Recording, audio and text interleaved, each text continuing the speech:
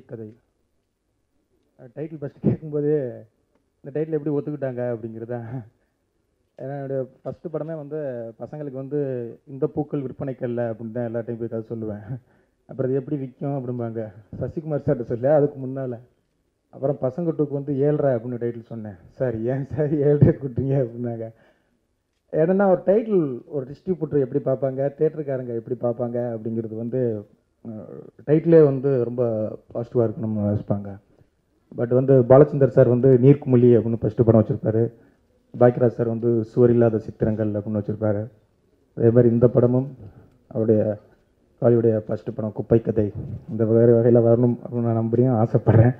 ட்ரெய்லரை பார்க்கும்போதே அந்த ஒரு ஃபீல் இருக்குது அஸ்லாம் வந்து நாங்களாம் ஒன்றும் ஃப்ரெண்டு நான் ஜெகன்னா எல்லாமே எல்லா படத்தையும் பயங்கரமாக பேசுறதா இருக்கட்டும் திட்டுறதா இருக்கட்டும் உப்பு கறி போட்டு சாப்பிட்றதா இருக்கட்டும் அப்படி ஒரு நண்பர். ரொம்ப நாள் அந்த படத்தை எடுத்து வச்சுட்டு அப்பப்போ வாட்ஸ்அப்பில் அனுப்பிக்கிட்டே இருப்பார்.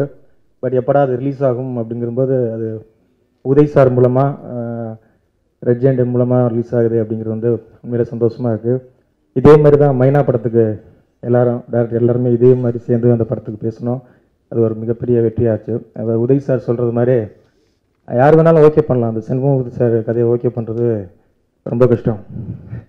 எந்த படத்தை பார்த்தாலும் நல்லா போயிருந்தா கூட சுமாராக போயிட்டுருக்கு அப்படின்னு சொல்கிறாரு கதை கேட்குறது வேணால் கொஞ்சம் மிஸ் ஆகும். ஏன்னா அங்கங்கே லைட்டாக ஸ்லிப் ஆகிடுவார் தூங்கிடுவார் கொஞ்சம். அப்படி சார் அப்படின்னு சொல்லி எழுப்பி கூப்பிட்டு ஆனால் படம் பார்த்துட்டு கதையை வந்து கரெக்டாக சூஸ் பண்ணிவிடுவார் அவர் வந்து குப்பை கதைங்கிற டைட்டில் ஓகே பண்ணி படம் பார்க்க போனதே வந்து உண்மையிலேயே ஒரு பாசிட்டிவான விஷயந்தான் கண்டிப்பாக அந்த படம் ஆடியன்ஸுக்கு பிடிக்கிற படமாக இருக்கும்.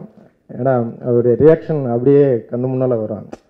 பரவாயில்ல சார் போயிட்டுருக்கு அப்படிம்பாரு ஒரு படம் எல்லாத்தையும். ஸோ செம்பூமூர்த்தி சார் ஓகே பண்ணியிருக்காரு கண்டிப்பாக அந்த படம் கட்டி அடையும். உதய் சாருடைய பத்தாவது வேண்டும் அப்படி வெட்டிக்கணும் இயக்குனர் கண்டிப்பாக அந்த படம். செம்மையோட இருபத்தஞ்சி நாங்கள் செம்மையும் வர்றோம். செம்ம ஓடணும் எனக்கு எவ்வளோ சந்தோஷமோ அதை விட உங்கள் படம் அதிகமாக ஓடணும் அப்படிங்கிறது நான் ஆசைப்பட்றேன் கண்டிப்பாக இந்த டீம் எல்லாத்துக்கும் தினேஷ் மாஸ்டர்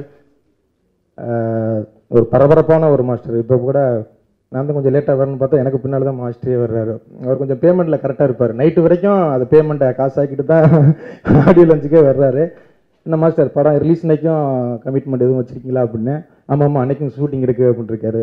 ஸோ அது நமக்கு ரொம்ப முக்கியம் மாஸ்டர் என்னுடைய ஃபஸ்ட்டு படத்தில் இருந்து தினேஷ் மாஸ்டர் இல்லை அப்படின்னா தான் நான் மற்ற மாஸ்டரே கேட்பேன். உதவி சார் சொன்னது மாதிரி என்னுடைய எல்லா படங்களையுமே இருப்பா இருப்பார். இந்த படத்தில் தான் இல்லை. ஏன்னா அவர் டேட்டு இல்லை. உரிமையாக திட்டுறதுக்கு சண்டை போடுவோம். ஒரு டான்ஸ் மாஸ்டருக்கு கார்டு கொடுக்கல அவர். ஏதோ ஒரு இதில் அதுக்கு அவங்க ஒரு சங்கத்தில் ரூல்ஸ் வச்சுருந்தாங்க.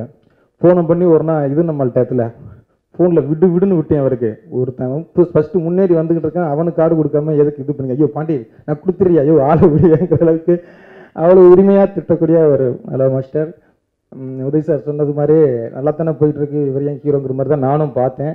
பட் ட்ரெய்லர் பார்க்கும்போது ரொம்ப எளிமையாக நினச்சிருக்காரு இந்த டீம் எல்லாத்துக்கும் இந்த படம் மிகப்பெரிய வெற்றி அமையும் வாழ்த்துக்கிறேன். நன்றி.